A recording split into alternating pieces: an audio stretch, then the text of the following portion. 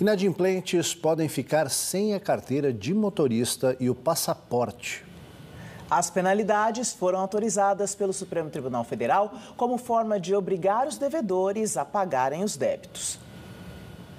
Por 10 votos a 1, os ministros da Suprema Corte entenderam que é constitucional a Justiça determinar a apreensão da Carteira Nacional de Habilitação e do passaporte de inadimplentes. Outras penalidades, como a proibição de participação de concursos e licitações, também estão autorizadas. Edson Fachin foi o único ministro a votar contra as medidas, que já estão previstas no Código de Processo Civil como forma de obrigar o pagamento de dívidas. Segundo o STF, as sanções só podem ser aplicadas se não afetarem direitos fundamentais, como saúde e segurança. Além disso, também devem atender aos princípios de proporcionalidade e razoabilidade. Desta forma, antes de chegar às medidas judiciais, a instituição que não recebeu o pagamento deve tentar todas as formas de contato com o devedor e quem usa a carteira de habilitação para trabalhar, por exemplo, não poderá ter o documento apreendido.